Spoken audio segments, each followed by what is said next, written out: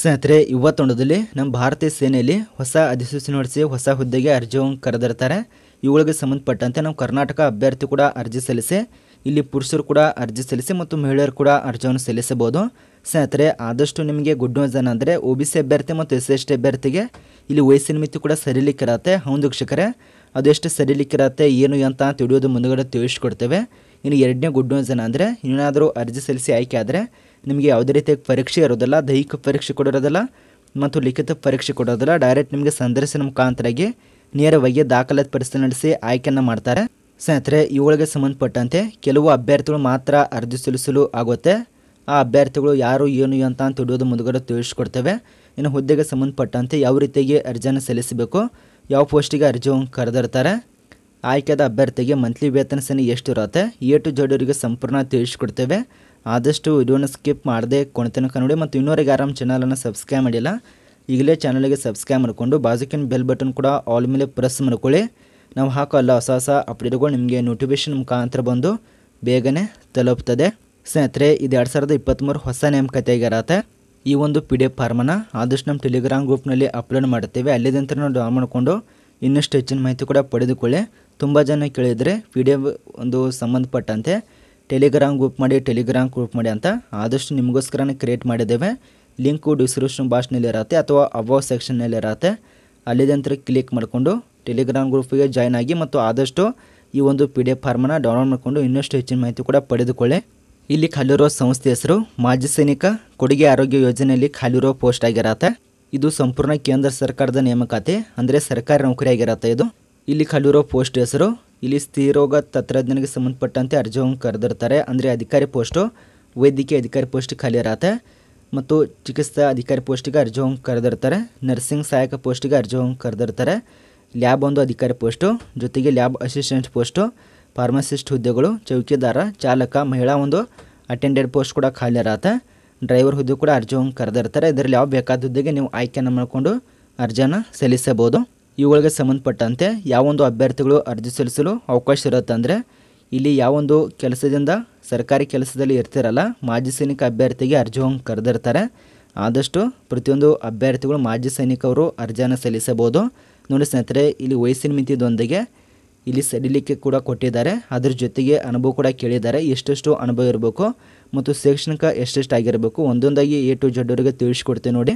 ಇಲ್ಲಿ ಮೊದಲನೇ ಪೋಸ್ಟು ಸ್ತ್ರೀರೋಗ ತಂತ್ರಜ್ಞಾನ ಪೋಸ್ಟಿಗೆ ಸುಮಾರು ಐದು ವರ್ಷದ ಅನುಭವ ಹೊಂದಿರಬೇಕು. ಮತ್ತು ಮಾನ್ಯತೆ ಪಡೆದ ಮಂಡಳಿಯಿಂದ, ಅಂದರೆ ವಿಶ್ವವಿದ್ಯಾಲಯದಿಂದ ಪದವಿ ಕಂಪ್ಲೀಟ್ ಆಗಿರಬೇಕಾಗತ್ತೆ ಕೊನೆಯಲ್ಲಿ ತಸ್ತಮಾನು ಕೂಡ ಪಾಸಾಗಿರಬೇಕು ಇನ್ನು ಎರಡನೇ ಪೋಸ್ಟು, ವೈದ್ಯಕೀಯ ಅಧಿಕಾರಿ ಹುದ್ದೆ, ಐದು ವರ್ಷದ ತನಕ ಅನುಭವ ಹೊಂದಿರಬೇಕಾಗತ್ತೆ. ಎಂ ಬಿ ಬಿ ಎಸ್ಸನ್ನು ಕಂಪ್ಲೀಟ್ ಮಾಡಿರಬೇಕು. ಸ್ನಾತಕೋತ್ತರ ಪದವಿಯನ್ನು ಪಾಸಾಗಿರಬೇಕಾಗತ್ತೆ. ಇನ್ನು ಚಿಕಿತ್ಸಾ ಅಧಿಕಾರಿ ಪೋಸ್ಟಿಗೆ ಇಲ್ಲಿ ಕೂಡ ಡಿಪ್ಲೊಮಾ ಪಾಸಾಗಿರಬೇಕು. ಮತ್ತು ಐದು ವರ್ಷದ ಅನುಭವ ಹೊಂದಿರಬೇಕಾಗತ್ತೆ. ಇದು ಅನುಭವ ಹೊಂದಿದವರಿಗೆ ಅರ್ಜಿಯನ್ನು ಕರೆದಿರ್ತಾರೆ ಮಾಜಿ ಸೈನಿಕ ಅಭ್ಯರ್ಥಿಗೆ. ಇನ್ನು ನರ್ಸಿಂಗ್ ಸಹಾಯಕ ಪೋಸ್ಟಿಗೆ ಐದು ವರ್ಷದ ಅನುಭವ ಹೊಂದಿರಬೇಕು. ಜೊತೆಗೆ ಡಿಪ್ಲೊಮಾ ಪಾಸಾಗಿರಬೇಕಾಗತ್ತೆ. ಲ್ಯಾಂಬ ತಂತ್ರಜ್ಞಾನಕ್ಕೆ ಸಂಬಂಧಪಟ್ಟಂತೆ ಇಲ್ಲಿ ಆದಷ್ಟು ಡಿಪ್ಲೊಮಾ ಪಾಸ್ ಆಗಿರಬೇಕು ಮೂರು ವರ್ಷದ ಅನುಭವ ಹೊಂದಿರಬೇಕು ಬಿ ಎಸ್ ಸಿ ಕಂಪ್ಲೀಟ್ ಆಗಿರಬೇಕು, ಸ್ನಾತಕೋತ್ತರ ಪದವಿಯನ್ನು ಪಾಸಾಗಿರಬೇಕು, ಕೊನೆಯಲ್ಲಿ ತಸ್ತಮನ ಕಂಪ್ಲೀಟ್ ಆಗಿರಬೇಕಾಗತ್ತೆ. ಇನ್ನು ಲ್ಯಾಬ್ ಒಂದು ಸಹಾಯಕ ಪೋಸ್ಟಿಗೆ ಐದು ವರ್ಷದ ಕೆಲಸದ ಅನುಭವ ಮತ್ತು ಡಿಪ್ಲೊಮಾ ಕಂಪ್ಲೀಟ್ ಆಗಿರಬೇಕು. ಯಾವುದೇ ಒಂದು ಕ್ಷೇತ್ರದಿಂದ ತಸ್ತಮಾನ ಕಂಪ್ಲೀಟ್ ಆಗಿರಬೇಕಾಗತ್ತೆ. ಮತ್ತು ದಂತ ನೈರ್ಮಲ್ಯ ತಂತ್ರಜ್ಞಾನಕ್ಕೆ ಸಂಬಂಧಪಟ್ಟಂತೆ ಡಿಪ್ಲೊಮಾ ಪಾಸಾಗಿರಬೇಕು, ಐದು ವರ್ಷದ ಅನುಭವ ಹೊಂದಿರಬೇಕಾಗತ್ತೆ. ಕೊನೆಯದಾಗಿ ಡ್ರೈವರ್ ಪೋಸ್ಟಿಗೆ ಎಂಟನೇತಿ ಪಾಸಾದರೂ ಕೂಡ ಅರ್ಜಿ ಸಲ್ಲಿಸಲು ಅವಕಾಶ ಇರುತ್ತೆ. ಆದರೆ ನಿಮಗೆ ಐದು ವರ್ಷದ ಅನುಭವ ಹೊಂದಿರಬೇಕು. ಡ್ರೈವಿಂಗ್ನಲ್ಲಿ ಮತ್ತು ಮಹಿಳಾ ಒಂದು ಅಟೆಂಡೆಡ್ ಪೋಸ್ಟಿಗೆ ಐದು ವರ್ಷದ ಅನುಭವ ಹೊಂದಿರಬೇಕು. ಮತ್ತು ಇದಕ್ಕೆ ಸಂಬಂಧಪಟ್ಟಂತೆ ಪದವಿಯನ್ನು ಕಂಪ್ಲೀಟ್ ಆಗಿರಬೇಕಾಗತ್ತೆ. ಇಷ್ಟೊಂದು ಶೈಕ್ಷಣಿಕರತೆ ಹೊಂದಿರಬೇಕು. ನಾವು ವಯಸ್ಸಿನ ಮಿತಿಗೆ ಬರೋದಾದರೆ ಸ್ತ್ರೀರೋಗ ತಂತ್ರಜ್ಞಾನಿಗೆ ಗರಿಷ್ಠ ವಯಸ್ಸು ಎಪ್ಪತ್ತು ವರ್ಷ, ವೈದ್ಯಕೀಯ ಅಧಿಕಾರಿಗೆ ಅರವತ್ತೆಂಟು ವರ್ಷ, ಇಲ್ಲಿ ಮೆಡಿಕಲಿ ಪ್ಯಾರಾಮೆಡಿಕಲ್ ಸಿಬ್ಬಂದಿಗೆ ಸುಮಾರು ಐವತ್ತೆಂಟು ವರ್ಷ ವೈದ್ಯಕೀಯರ ಸಿಬ್ಬಂದಿಗೆ ಸಂಬಂಧಪಟ್ಟಂತೆ ಐವತ್ತೈದು ವರ್ಷ, ಕನಿಷ್ಠವಾಗಿ ಹದಿನೆಂಟು ಮತ್ತು ಇಪ್ಪತ್ತೊಂದು ವರ್ಷ ಮೇಲ್ಪಟ್ಟವರು ಆಗಿರಬೇಕಾಗತ್ತೆ ಇದು ಮಾಜಿ ಸೈನಿಕ ಅಭ್ಯರ್ಥಿ ಇರೋದ್ರಿಂದ ಎಲ್ಲ ಅಭ್ಯರ್ಥಿಗೆ ಅಷ್ಟು ಆಗೇ ಇರತ್ತೆ. ಆಯ್ಕೆದ ಅಭ್ಯರ್ಥಿಗೆ ಮಂತ್ಲಿ ವೇತನ ಸೇನೆ ಸುಮಾರು ಹದಿನಾರು ಸಾವಿರದ ಎಂಟುನೂರರಿಂದ ಒಂದು ಲಕ್ಷ ತನಕ ವೇತನ ಸೇನೆ ಕೂಡ ನೀಡಲಾಗತ್ತೆ. ಇಲ್ಲಿ ಮೊದಲಿಗೆ ತಿಳಿಸಿಕೊಟ್ಟಿದ್ದೇವೆ, ಇದು ಅನುಭವದ ಮೇಲೆ ಕೆಲಸನ ಆಯ್ಕೆಯನ್ನು ಮಾಡ್ಕೋತಾರೆ ಯಾವುದೇ ರೀತಿ ನಿಮಗೆ ಪರೀಕ್ಷೆ ಇರೋದಿಲ್ಲ ದೈಹಿಕ ಪರೀಕ್ಷೆ ಕೊಡೋದಿಲ್ಲ ಮತ್ತು ಲಿಖಿತ ಪರೀಕ್ಷೆ ಕೊಡೋದಿಲ್ಲ ಡೈರೆಕ್ಟ್ ನಿಮಗೆ ಸಂದರ್ಶನ ಮುಖಾಂತರಾಗಿ ನೇರವಾಗಿ ಆಯ್ಕೆಯನ್ನು ಮಾಡ್ತಾರೆ. ಇದರ ಬಗ್ಗೆ ಇನ್ನಷ್ಟು ಹೆಚ್ಚಿನ ಮಾಹಿತಿ ಕೂಡ ಪಡಿಬೇಕಂದ್ರೆ ಈ ಡಿಸ್ಪ್ಲೇಲಿ ವೆಬ್ಸೈಟ್ ಕಾಣಿಸ್ತಾ ಇದೆಯಲ್ಲ, ಈ ವೆಬ್ಸೈಟಿಗೆ ಭೇಟಿ ನೀಡಿಕೊಂಡು ಇನ್ನಷ್ಟು ಹೆಚ್ಚಿನ ಮಾಹಿತಿ ಕೂಡ ಪಡೆದುಕೊಳ್ಳಿ. ಅದರಲ್ಲಿ ಸಂಪೂರ್ಣ ಕೊಟ್ಟಿರ್ತವೆ. ನೋಡಿ ಸ್ನೇಹಿತರೆ, ಈ ಒಂದು ಪಿ ಡಿ ಎಫ್ ಫಾರ್ಮನ್ನು ನಮ್ಮ ಟೆಲಿಗ್ರಾಮ್ ಗ್ರೂಪ್ನಲ್ಲಿ ಅಪ್ಲೋಡ್ ಮಾಡಿದ್ದೀವಿ. ಅಲ್ಲಿದ್ದಷ್ಟು ನೀವು ಡೌನ್ಲೋಡ್ ಮಾಡಿಕೊಂಡು ಇನ್ನಷ್ಟು ಹೆಚ್ಚಿನ ಮಾಹಿತಿ ಕೂಡ ಪಡೆದುಕೊಳ್ಳಿ. ಆನ್ಲೈನ್ ಮುಖಾಂತರಾಗಿ ಅರ್ಜಿ ಸಲ್ಲಿಸೋರು ಆ ಒಂದು ವೆಬ್ಸೈಟಿಗೆ ಭೇಟಿ ನೀಡಿಕೊಂಡು ಆನ್ಲೈನ್ ಮುಖಾಂತರಾಗಿ ಅರ್ಜಿಯನ್ನು ಸಲ್ಲಿಸಿ, ಇಪ್ಪತ್ನಾಲ್ಕು ಎಂಟು ಎರಡು ಸಾವಿರದ ಇಪ್ಪತ್ತ್ಮೂರರಿಂದ ಅರ್ಜಿ ಕೂಡ ಪ್ರಾರಂಭ ಆಗಿದೆ. ಕೊನೆಯ ದಿನಾಂಕ ಹದಿನೈದು ಸೆಪ್ಟೆಂಬರ್ ಎರಡು ಸಾವಿರದ ಇಪ್ಪತ್ತ್ಮೂರು ತನಕ ಅವಕಾಶ ಇರತ್ತೆ. ಮತ್ತು ನಾವು ಆಫ್ಲೈನ್ ಮುಖಾಂತರಾಗಿ ಅರ್ಜಿ ಸಲ್ಲಿಸ್ತೇವೆ ಅನ್ಕೊಂಡಿದ್ರೆ, ಈ ಡಿಸ್ಪ್ಲೇ ಮೇಲೆ ವಿಳಾಸ ಕಾಣಿಸ್ತಿದ್ದಿಲ್ಲ ಈ ವಿಳಾಸಕ್ಕೆ ಸಂಬಂಧಪಟ್ಟಂತೆ ನೀವು ಆಫ್ಲೈನ್ ಮುಖಾಂತರಾಗಿ ಅರ್ಜಿಯನ್ನು ಸಲ್ಲಿಸಿ, ನೋಡಿ ಸ್ನೇಹಿತರೆ, ಎಲ್ಲರೂ ನೋಟ್ ಮಾಡ್ಕೊಳ್ಳಿ ಅಥವಾ ಕುರುಷರು ಕೂಡ ತೆಗೆದಿಟ್ಕೊಳ್ಳಿ. ಇದ್ರ ಬಗ್ಗೆ ಯಾವ್ಯಾವ ಡಾಕ್ಯುಮೆಂಟ್ಸ್ ಬೇಕಾಗತ್ತಂದರೆ ಈ ಒಂದು ಪಿ ಡಿ ಎಫ್ ಫಾರ್ಮಲ್ಲಿ ಕೊಟ್ಟಿದ್ದಾವೆ. ಯಾವ್ಯಾವ ಒಂದು ಡಾಕ್ಯುಮೆಂಟ್ಸ್ ಬೇಕಾಗತ್ತೆ, ಏನು ಅಂತ ಅಂತ. ಮೊದಲೇದಾಗಿ ಒಂದು ಪೇಮೆಂಟ್ದು ಆರ್ಡರ್ ಬೇಕಾಗತ್ತೆ. ಇದೊಂದು ಲಿಸ್ಟ್ ಬೇಕು. ಕೊಟ್ಟಿದ್ದಾರೆ ನೋಡಿ. ಮತ್ತು ಬ್ಯಾಂಕ್ ಪಾಸ್ಬುಕ್ ಬೇಕಾಗತ್ತೆ. ಎಕ್ಸ್ ಸರ್ವಿಸ್ ಮ್ಯಾನ್ದು ಐಡೆಂಟಿ ಕಾರ್ಡ್ ಬೇಕಾಗತ್ತೆ. ಆಧಾರ್ ಕಾರ್ಡ್ ಬೇಕು ಮತ್ತು ಪ್ಯಾನ್ ಕಾರ್ಡ್ ಕೇಳ್ತಾರೆ.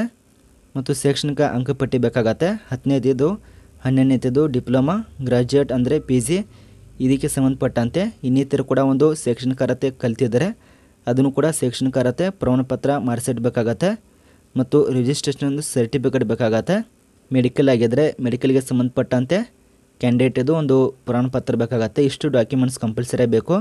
ಇನ್ನಿತರ ಕೂಡ ಕೊಟ್ಟಿದ್ದಾರೆ. ಈ ಒಂದು ಫಾರ್ಮನ್ನು ಇಲ್ಲಿ ಸಿಗುತ್ತೆ ನೋಡಿ. ಈ ಒಂದು ಪಿ ಡಿ ಎಫ್ ಫಾರ್ಮ್ನ ಡೌನ್ಲೋಡ್ ಮಾಡಿದ ತಕ್ಷಣ ಕೆಳಗಡೆ ಬಂದರೆ ಇಲ್ಲಿ ಕೊಟ್ಟಿದ್ದಾರೆ. ಆದಷ್ಟು ಅಂಚೆ ಇಲಾಖೆ ಮೂಲಕವಾಗಿ ಅರ್ಜಿ ಸಲ್ಲಿಸೋರಿಗೆ ಇದೊಂದು ಸೈಬರ್ ಸೆಂಟರ್ಗೆ ಹೋಗಿ ಐದು ರೂಪಾಯಿ ಅಥವಾ ಹತ್ತು ರೂಪಾಯಿ ತಗೋತಾರೆ. ಒಂದು ಪ್ರಿಂಟನ್ನು ತೆಗೆದುಕೊಂಡು ಅಂಚೆ ಇಲಾಖೆ ಮೂಲಕವಾಗಿ ಅರ್ಜಿಯನ್ನು ಸಲ್ಲಿಸಿ ಮಾಜಿ ಸೈನಿಕ ಅಭ್ಯರ್ಥಿಗಳು. ನೋಡಿ ಸ್ನೇಹಿತರೆ, ಈ ಒಂದು ವಿಡಿಯೋ ನಿಮಗೆ ಇಷ್ಟ ಆದರೆ ಒಂದು ಲೈಕನ್ನು ಕೊಡೋದನ್ನು ಮರೆಯೋಕೋಬೇಡಿ ಇದರಲ್ಲಿ ಸಂಪೂರ್ಣವಾಗಿ ಅರ್ಥ ಆಗಿದೆ ಅಂತ ಅನ್ಕೋತೀವಿ. ಹಾಗೆ ಏನಾದರೂ ಡೌಟ್ ಇದ್ದರೆ ನಮ್ಮ ಕಮೆಂಟ್ ಬಾಕ್ಸ್ಲಿ ಕಮೆಂಟ್ ಮಾಡಿ. ವಿಡಿಯೋ ನಿಮ್ಗೆ ಇಷ್ಟ ಆದರೆ ನಿಮ್ಮ ಸ್ನೇಹಿತರು ಕೂಡ ಶೇರ್ ಮಾಡಿ.